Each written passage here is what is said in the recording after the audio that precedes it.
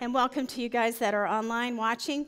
I'm really glad to be here with you this morning, but I got a terrible head cold and chest cold, right? So we're going to do the best I can uh, to deliver the message that God planted in my heart a week ago okay? And so we're going to continue in our series, the Advent series that we're in, where we're recounting the Christmas story. And in here, we're looking at the five questions that arise from our story that will determine our destiny, just like it did in the characters of the story, right? The first two, Pastor Andy talked about these past couple of weeks. The first one, will I accept God's destiny for me? And we saw how Mary arose and she said yes, even though it was an unexpected purpose in her life and she accepted that. And then we watched uh, last week the question, How uh, will I obey God when things don't go my way? And we saw Joseph pull within himself and dare to believe in God and follow him when nothing made sense to him. And so today I want to talk to you about how will I and how will you find God's peace and joy for our lives. I want us to look at that. And the part of the Christmas story I'm going to look at today will be how the angels come and they uh, announce to the shepherds, and then what the shepherds did with that message that they received, and how that changed their lives, right? How it ushered peace in. And so that's what we're going to look at today. You know, in my, in my job that I've been doing for many, many years, I've had this privilege of meeting many different kinds of people, right? All kinds of people. I've, I've met people that are what I consider simple, just straightforward people, then people that are very complex right? And I've met people that are quite wealthy and those that are in poverty. I've met people that are type A, go getter, busy, running 100 miles an hour, and I've met people that are, you know, relaxed or they're retired and they kind of watch the butterflies go by, right? So I've met all kinds of people out there. But you know, I rarely meet people that are full of peace. I rarely meet people that are totally peaceful with themselves and with other people, right? That they don't have that peace, they don't walk in it. It's almost like the rhythm of their life is that they're unable to access that. And so today, it's been in my heart to come and to talk to you about how we can have this rhythm set forth in our lives that I believe the Christmas story tells us about, where we can truly have peace with God. We can truly have peace inside of us and peace with people. Bow your heads with me. I'm going to ask the Holy Spirit to come even more. Holy Spirit, I thank you. I thank you for your presence. I thank you for uh, what you're doing here now. And Father, I thank you that you use weak things to bring forth your truth. And so, Holy Spirit, I ask that you would come in every nook and cranny, Lord, that you would be Lord over it, that you would usher in your Holy Spirit. And uh, I just bind all things that are not of you in the name of Jesus. And I release you, Father, to move, for we need a word from you. We are desperate for you. That's what brought us in here this morning, Lord. And so, Holy Spirit, would you deposit, I hear that, would you remove any distractions so that we can be attentive to your word to hear what you have to say to us today? In Jesus' name, amen. Amen. Now, um, on your outline, if you pull that out, I want to talk to you about a couple of scriptures. You know, 700 years before the birth of Christ, we have this prophet, Isaiah, that comes on and he gives us this prophecy pronouncing what's going to be happen. And uh, it's in Isaiah 9 6. It's on your outline. For a child will be born to us, a son is given to us, and he will be named, one of the names is the Prince of Peace. And so Isaiah is saying, hey, the Prince of Peace is coming your way. And this is 700 years before Christ was born. And at the time of Christ's birth, right, we see that uh, the angels proclaim the same Prince of Peace that has come. In Luke 2 8 through 14, it says this and there were shepherds living out in the fields nearby, keeping watch over the flocks at night. And an angel of the Lord appeared to them, and the glory of the Lord shone around them, and they were terrified, right? But the angel said to them, Do not be afraid. I bring you good news that will cause you great joy for all people. Today in the town of David, a Savior will be born to you. He is the Messiah, the Lord. This will be a sign to you. You will find a baby wrapped in clothes and lying in a manger. Suddenly, a great company of heavenly beings or hosts appeared with the angel, praising God and saying, Glory to God in the highest heaven, and on earth peace to those whom his favor rests. And so, in that accounting of the Christmas story we're reading, we see this interchange that's happening with the angels, and they're coming, they're talking to the shepherds, and they're saying, Hey, wake up because the promise of the King of Peace is coming. It's coming to each and every one of you. The fulfillment is happening, right? And this is going to activate their faith, and this is what we're looking for that each and every one of us needs to take the message that we see in the baby Jesus over there. What was the significance of his life, right? He is going to bring us peace, and we need to understand that.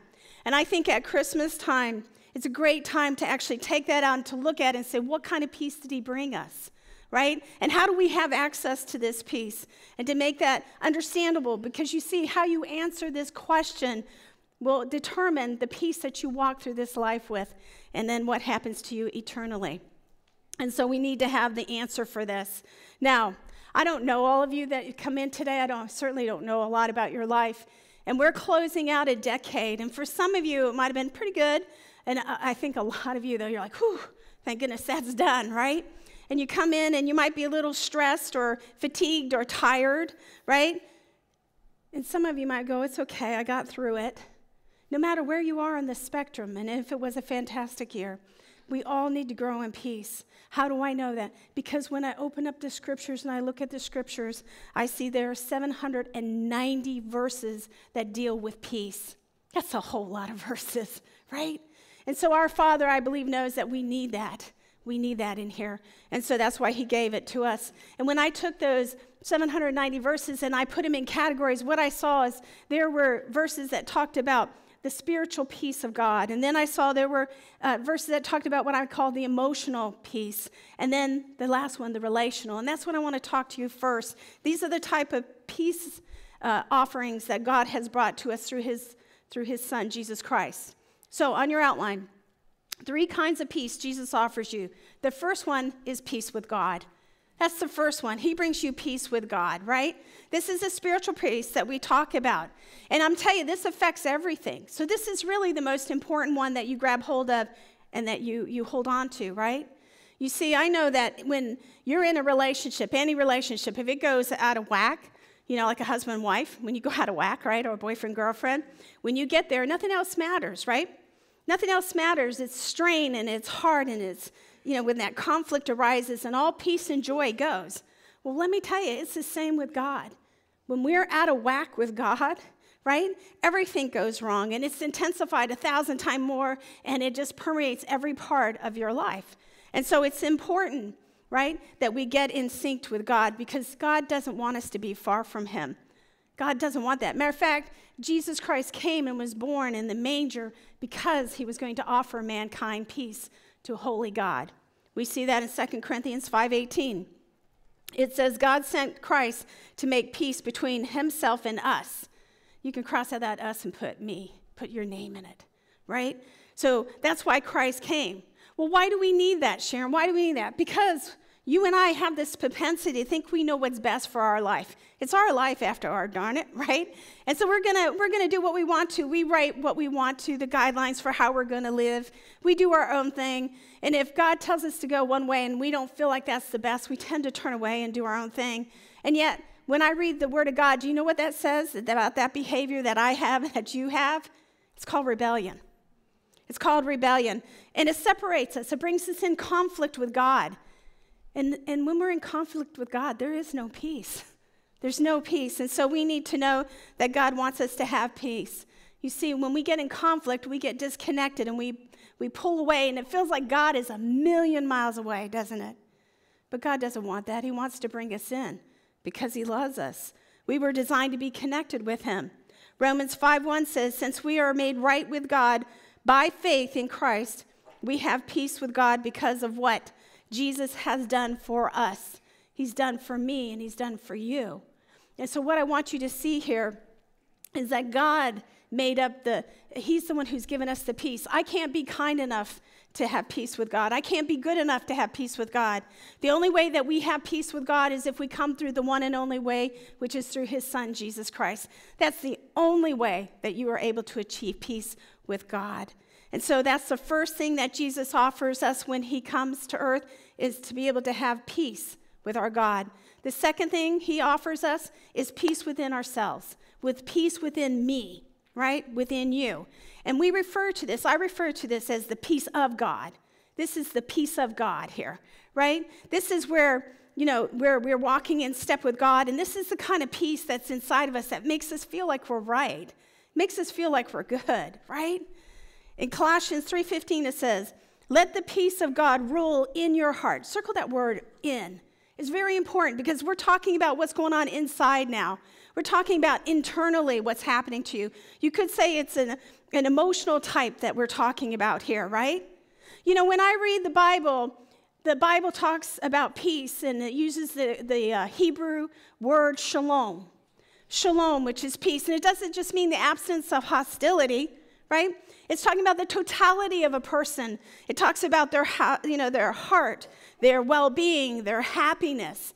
And so God wants us to have shalom. He wants us to be able to walk in peace. He gives us these 700, you know, and 90 verses. Why? Because he knows we're a complex people. He knows that we get into trouble and we have issues. And when we come upon them, he says, I can overcome them. I will give you the scriptures. I will give you the peace that you lack today. That's what he says. And so if you came in here and you have a broken heart, I want to tell you that God wants to give you the comforting peace today. If you came in and and you have a confused heart, well, God has scriptures He wants to give you guiding peace, right? And if you came in here with a shameful heart, because you know where you've been, God says He wants to give you a forgiving heart. He wants to give you these promises where it can upright you. Where you've lost your way, He says, I want to help you find your way. And so He has so many more scriptures than I have time to, to, to give to you today. But they're all in the Word of God. If you open them up, if you search them with your whole heart, you will find them. And He has a scripture for every issue, every difficulty that you face in life.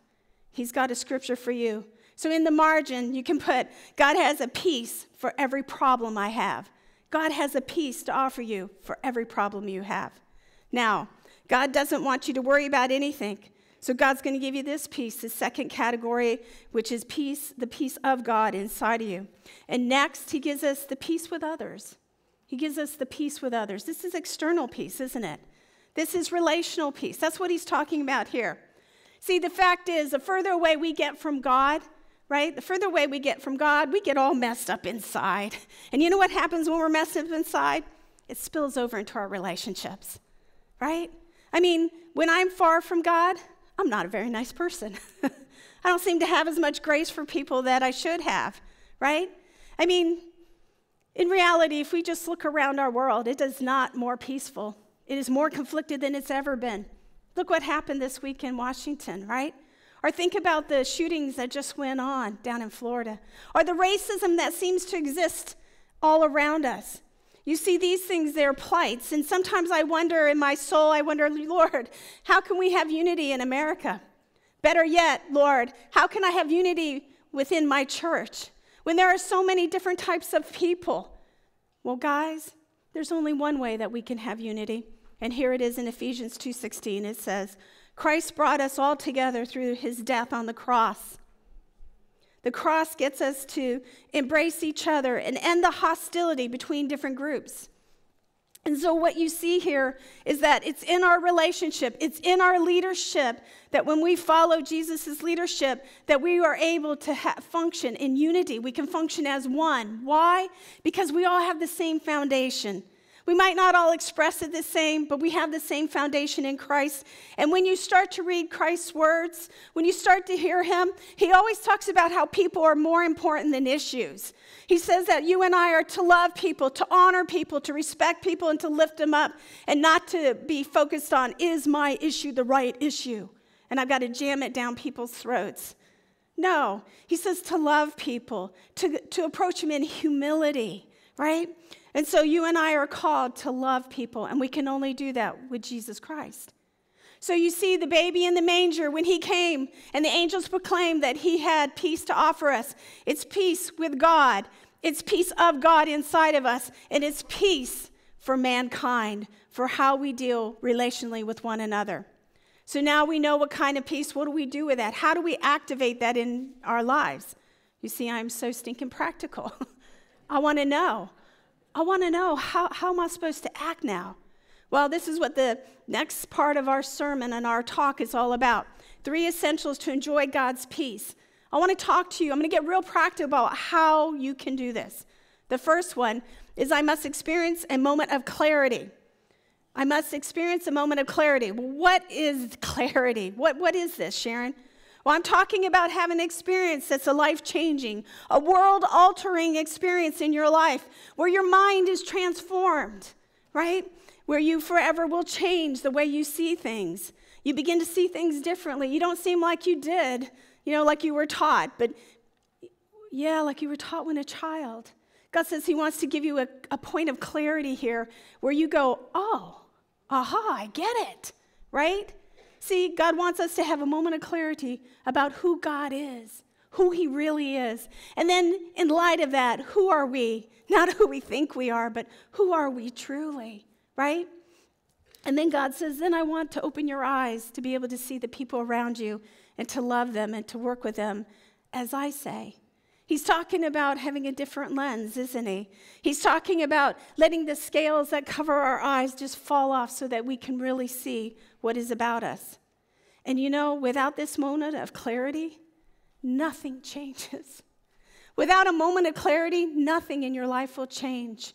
You have to have this moment of clarity. In our story, when I recount with the, with the angels talking to the shepherds, the shepherds actually had a moment of clarity. But that moment of clarity didn't come when the angel came to talk to them. You would think so because it terrified them, right?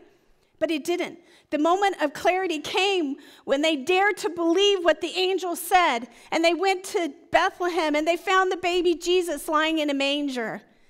You see, when they saw that, the fulfillment of the promise, that was their moment of clarity. They got it, that their life would never be the same and they would forever be changed. My friends, God wants you to have a, have a moment of clarity where your life will never, ever be the same. You will change. It will change your behaviors, the way you react. And we all need to have this moment of clarity in our lives. Even the apostle Paul cries out for this in Ephesians 1:18. He says, I pray that your heart will be flooded with light, the moment of clarity, flooded with light, so that you can see something of the future that God has called you to share. And so, this, this light that floods in, I want to tell you though, that you can't have a moment of clarity unless God brings it, unless the Holy Spirit, which is God's promise that will indwell us, right? Unless the Holy Spirit comes, we can't have those moments of clarity because we're like in a little box and you can't kind of get out of that box. And you need the Holy Spirit to breathe on you so that you can have this moment of clarity. It's kind of like trying to find, I see that, trying to find your purpose in life. You can't find it by yourself. You just can't because you didn't create you. God created you. And so you need God to help you to open up your understanding. You need light to flood into where you are. You need His presence. That's why I always start my, my sermons and my time with you saying, Come, Holy Spirit. You see, it's with the come, Holy Spirit, that we're, we're not saying that you're not here. I'm saying, Come more. Open these blind eyes that I might see you. Open my heart that I might feel you, Lord. Right? And so we're looking for God to move to give us those points of clarity. And I'm going to tell you that you might have came in here today because it's Christmas and somebody asked you to come, right? There might be a variety of reasons you came today, but I'm going to tell you the Lord brought you in here today because He intends to give you moments of clarity, especially if you are uh, in rebellion against Him. If you're far from Him, you see, that's unacceptable that He loves you. And so He wants to give you a moment of clarity where the peace of God can be on you, that you can be at peace with God. And I'm going to give you that opportunity to pray with me at the end of this time that I have with you. And my friends, that's why God brought you here. He wants you to line up and to be at peace with Him. The second essential to enjoying God's presence and His peace is I must express an attitude of humility. An attitude of humility. Humility, it's the pathway to peace. Humility is the pathway to peace. Pride, well, pride is the pathway to conflict. That's what that is. And so, whenever we see conflict going on around us, just know that somebody's pride just got in the way right? That their ego just rose up and they got in the way, and that's why there's conflict. And this is true. It's true in your home, it's true in your work, with your friendships. It's even true in this church, right? Whenever conflict arises, it's because pride has taken over. And I know that if we reject pride, if we reject that and we go towards humility, look what God says in James 4 6. God opposes the prideful, but gives grace to the humble. He gives grace to us, guys. That's what He does. And I, you know, I was thinking about this, and I can tell you, I have been God's friend for 42 years. I've been walking with Him for 42 years, and I've learned a thing or two. And one of the things I've learned is God, He's not moved by my whine and He's not moved by my complaining or my griping, but oh, God moves when I am humble, when I realize it has nothing to do with me, that I am not God, that He is the only one that's God, and, and we go towards Him. And when we do that, that creates a pathway, that humble uh, attitude creates a pathway for us to get the help that we need through our Savior. And so we need to do that. And I know, again, coming to the end of this decade, right? We're coming to the end. That some of you are like barely hanging on and you're wondering, what is the next 10 years going to bring? You know, what is 2020 going to bring to me? And then there's some of you, I'm very well aware, that it's Christmas time, but you feel anything but happiness. Matter of fact, I've been praying for you guys because I've felt this all week long that there's some of you that you're facing this Christmas and, and you, you're, you're struggling. And, and it might be because you lost somebody you loved. yeah, that's part of it. And it might be because that because your dreams that you had that you thought you were going to, all of a sudden they're dissipating. Or the thing that you love most in your family is deteriorating, right? And so you're looking at it and you want, you're anything but peace, uh, peaceful. And you're wondering, what is this year going to bring? What is this Christmas going to bring? Can I just get it done? Can I just check it off? Bang, the lights are up. Bang, the tree's done the presents are wrapped. Stop. God wants to, for you to be able to know that right in the midst, you don't have to be busy. Oh gosh, this is a word. You do not have to be busy. You do not have to be busy. So the Father says that He's going to send the Holy Spirit to give you this peace inside of you that you don't have to be. You can sit. It's okay if you sit and cry. God said, just sit with Him and let the peace of God overcome you, for He is in that place of difficulty that you're in right now. Thank you, Lord. Thank you, Father. Now, the Bible says that He understands that we have a, a way about us that we want to, that we side in with pride and, and being, especially in America, that we'll pull ourselves up by our bootstraps and stuff. So He wants to teach us about what does it mean to be humble. And in Philippians 4 6 and 7, it says this Don't worry about anything. Instead, pray about everything. I'm going to stop there for a minute. Pray about everything. Don't worry. So I see what I see here is two alternatives. You can either pray, right? Or you can be worried. You can either trust in yourself or you can trust in God. You know, and one leads to peace and the other one leads to panic. The other one leads to stress and a lack of peace but you get to choose. Don't worry about anything. Instead, pray about everything. Tell God what you need. Tell Him what you need. And thank Him for all that He has done. So, this is how we're, we're going to activate this thing. We're going to start to uh, activate His peace because it goes right into then, if we do that, then you will experience God's peace. That's how you get it, which exceeds anything we can understand. His peace will guard, look at that, it guards your heart and your mind in the living Jesus Christ. And so, what we see here is that God wants to give us this peace. He wants to come in and He wants to fill us up. And, the peace He wants to give us goes beyond our wildest imagination. We can't understand it, but He wants to fill us up with this. But He says, You got to choose to pray, you got to choose to talk to Him. That's what you got to choose to do. And then that leads me into this last point here. To enjoy God's presence, I must expect Jesus to help me. I got to expect that Jesus is going to help me. We have to choose it, right? And this is our faith factor now. It kicks in when we do this, when we expect God to come and help us. Now, I could sum up all of Christmas by saying this that when Jesus Christ, born as a baby, comes in, he comes in with the angels pronouncing this He has come to give you peace on earth and goodwill to man. What that means is He's come to give you His hand, He's come to help you. He sees you, He knows where you are, and He has peace for you. And this is good news. This is great news. He's come to help us. And in Matthew, in Matthew, I see in this verse, Matthew 11. I want to talk to you about this because this is really, if we could activate this scripture in our lives, it has the power to transform us, to revolutionize the way we operate, right? And so, if we actually grabbed hold of this and we made it a daily practice of ours, I'm going to tell you, you didn't need to fear the next decade because you're going into it with power, with power. So, let's look at that scripture. It says in Matthew 11, 28 and 29. It says, Come to me, all of you who are tired and worn out from carrying heavy loads, and I will give you more work to do. No, it didn't say that, did it? Although we act like that. We act like that. He says, And I will give you rest. Take my yoke up and learn from me, for I am gentle and humble, and I will find peace. You'll find peace and rest for your soul. I love that. You find peace and rest for your soul. You know, have you ever wondered what this soul peace is he's talking about? See, it's much more than physical peace, right? We all need physical peace. I mean, physical rest. We all need that, right? But soul, soul peace is more than just resting. There's something else there that he's trying to get at, and we all need this soul rest. And so the problem that I see is not that we have overloaded muscles. Matter of fact, some of you hmm, need to uh, exercise our muscles more, right? You see, it's not overloaded muscles that, that stress us out. It's not. It's overloaded minds and overloaded hearts that are full of anxiety and tension, right? The tiredness that we feel, it's emotional, it's spiritual, it's not so much physical.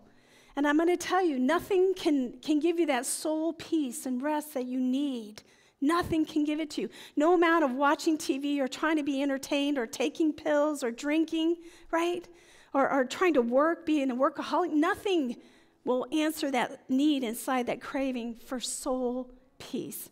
And yet, God says at the deepest level that He's going to give us to give that to us if we turn and look at him. Because in this scripture I'm talking to you about, I see three things that if we will engage in each and every day, that we can walk, we can have this cadence of peace with Christ. And it's this the first one, and you can circle it inside your scripture. The first one is, Come to me. Circle that, come to me. Jesus is saying, Come to me for peace. Don't go to pills or a program or a philosophy, but come to me because Jesus says He is the source of all peace. And so we need to come to him. And when I read scriptures, when I see that Jesus walked the earth, people came to him for all different things for healings, to get answers to prayers, right? Uh, to questions they had, or to, for eternal salvation. But did you realize that you can come to Jesus for peace? And the Holy Spirit says that the peace that you so need, you come to Jesus and you find it there. You come to Jesus and you find it there. Mm-hmm. Yes, Father, you find it there. The next thing I see in that scripture, the next thing I see is to take my yoke. Circle that, take my yoke. Jesus is talking about being yoked up with him, being connected with him.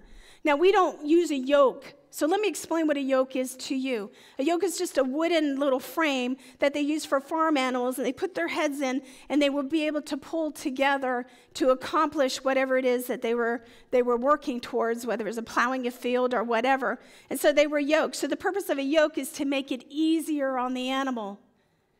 And so the yoke, the yoke for us is a symbol of our partnership. The yoke for us is a symbol of our partnership. It should be a metaphor for our life. It should be that we are pulling with Jesus. And you see, you're getting stressed out, or you have anxiety, or you have worry. Why? Because you're not yoked up with Jesus. You're, you, you're working out of a philosophy that says, if it's to be, it's all up to me. And Jesus is challenging that because that's not working too well for you. And he says, no, slip your head. Choose to slip your head and walk with me, and together we'll plow this ground. Thank you, Father. And then I see this last part where he says, Tell me, let me teach you. So circle that. It says, Let me teach you. Jesus says to us that he wants us to come under him. He wants to teach us how to walk in the real rhythm of life where your life can produce this peace. He wants us to walk with him. And then when he's talking to us, he tells us that there's this Yep, okay. So let me slow down here because I feel like today, just this moment, that God is calling to you. He's calling to you. He's using my words, but He's calling to you. That there are many of you, He says to you, Come to me. He won't let me off of this. He says, Tell them to come to me, not to, not to anybody else, just come to me and to yoke up with me. And I call them, Sharon, and I call them and remind them that I am gentle and I am humble. And so Christ is saying, Come and sit under him, for he is gentle and he is humble. And when I look at the gentleness and I look in the humbleness, I think to myself, hmm, if I were to write that scripture, I probably would say, Come, so that you can have more endurance and stamina to do the work. but that's not what Jesus says. He says to come to him because he wants to, he wants to use these two things, gentle and humbleness. Now, don't miss this because they are two antidotes to the biggest giants that bring us stress. What are those biggest giants, Sharon? They're arrogance, which is pride, and they are also aggression, which is control. And those two, they, they, they uh, fuel us. They fuel us. And so the arrogance says, I can do it on my own. I can do this. I got this. I don't need to bother God, right? And when we find ourselves getting stressed and we can't do, we say, it's okay. I'll just, I want this. I'll just put it on the credit card even though I can't afford it, right? And arrogance says, I'm just gonna, I'm just gonna buy it. I'm just gonna buy it with money I don't have, right? And a thing I don't need to impress people I don't even like. that's, that's pride. And arrogance is, I will control this, right?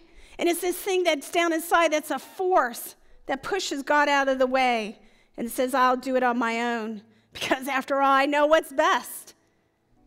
You see, God is God, you are not. Jesus understood that about us. I wonder if we understand that about us. I wonder if when I'm saying that, you're justifying, well, that's not me. I'm here to tell you that's me. That's me. I need his humbleness and I need his gentleness just as much as you do, right? I need it because I know that my ego and, and you know, my pride can get up and get in the way of what God wants to do in my life, just like yours. And so he gives us this antidote. This antidote is gentleness and humbleness. And that's where he comes and he partners alongside us, and, and it just dissipates all the stress, all the worry, all the anxiety. You see that? And then in Isaiah 26 3, the last scripture, it says, You, Lord, give true peace to those who depend on you because they trust in you. So, friends, if we take that scripture and we want to make an impact this Christmas, we really want to understand the gift that our baby Jesus brought in, which he ushered in the peace, then where will you get your peace? You know, where will you get your joy? And today I've talked to you about this. I've talked to you about how Jesus brings you that peace the peace with God, the peace within ourselves, and the peace of working with other people, relational peace. I've talked to you about, you know, relying on Him to give you this moment of clarity and coming humbly before your God, knowing that He is God and you are not, right? And then I talked to you about if you look at the scriptures, if you spend time with them, how they have all the answers that you need in your heart. All you have to do is spend the energy and the time to look and to come, to choose to come to Jesus. And so, my, my prayer for you and why I got out of bed, even though I didn't feel good today, is because I had to. I have to follow the leading of the Holy Spirit. And you see, God says that He doesn't want His people to go one more, one more day, one more breath without being able to embrace the true gift that He sent at Christmas, which is the peace that can reside in all men, because He's here to help you. Bow your heads with me.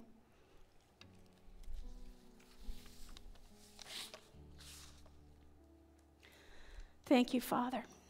Lord, I thank you for the Holy Spirit's presence in this room. And Father God, I ask again that each and every person that you brought in here that you were speaking to, that you would, yep, help them, Father, now to move. Help them to have ears to hear what your Spirit was saying. Help them to move, Father, upon what it is that you've dropped into their heart. And so, Father, those of you in here, Father says, start there that don't know Jesus as your Savior. They're far from God, that you know there's a distance. Well, God says that He doesn't want that distance. It's not why He, he has you here today. He wants to bring you home, He wants you to come home for Christmas. And so, if that's you, I'm going to lead you in a prayer. While everybody is, his eyes are bowed, they are listening for the Holy Spirit to speak to them. I'm specifically talking to those of you that are far from God right now. You know, it's one thing to know about the message of Jesus Christ, it's a whole other thing to, to accept it personally. And when you pray, that's what happens. And so, right where you're at, you can just say, Father God, I accept your Son, Jesus Christ, and I ask for forgiveness of my sins. Yes. And Jesus, the best way I know how, I ask you to be the leader of my life. Now, Father, those that were praying that prayer, I thank you that you sealed it in their heart and that you've written their name in the book of life. Father says it's not anything you have to do, you just have to acknowledge it, and He takes over. So, Father, I thank you for that. In spirit, I ask that you would also move upon us. There are so many of us. You showed me this all week long. There's so many of us that we don't have the peace of God inside of us, that we don't have the peace of God, that we wrestle and we wrestle. And so, Lord, I ask the best way I know how now. I bind the enemy's lies in the name of Jesus Christ, and I release those 790 promises to move throughout this room, Lord, that they would explode with power and might as people come upon them in your word. And for the first time, the lights will go on. It will be an aha moment for them, Father. And I lift them up to you now in the name of Jesus. Make your people a whole people more. Lord, I see that. Make them, Lord, a courageous people, people that would lean into you, that would walk. And I would be able to see, Father, that the cadence of their life produces great peace. And Father, you say to us that if your people called by your name would humble themselves and come before you, that you would heal our land. And so, Father, I thank you that you start right in the pews. You start right in the chairs, Lord, with us. And so, Father, I ask that you would move upon each person here and that you would begin them to see them arise, Lord God, not with issues of, of being right or wrong, but with the love of Christ, that they would go into the cities, Father, that they would go into the highways and the byways, and that they would make a difference, Lord, by their compassion and their love for one another, Lord God that they would lift you up, that you would make us, Father, like a city planted on a hill that would be able to shine out for all men to come. That you have this voice that says that you have brought peace and that we are the peacemakers, that we walk in peace. This is only something you can do, Lord. Bring that relational peace, bring that peace to all men, Father. I thank you for that, Lord. And I give you all these words that were spoken and all these prayers that were prayed. And oh, Father, take them and let your life be glorified, Lord, and let us accomplish all that you've asked us to do. In Jesus' name, amen and amen. All right, guys, now we're getting ready to transition. And so the ushers are coming forward.